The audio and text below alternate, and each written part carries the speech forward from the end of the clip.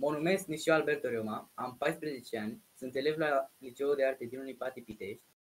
Acest video este realizat pentru a participa în cadrul concursului Talente în Afirmare, ediția 9 2021, secțiunea Performanță, categoria B. Voi interpreta Grand Vals de Francisco Tarega, Rondo Rodeo de Gary Ryan și Studiu Opus 100, numărul 11, de Mauro Giuliani. Mm-hmm.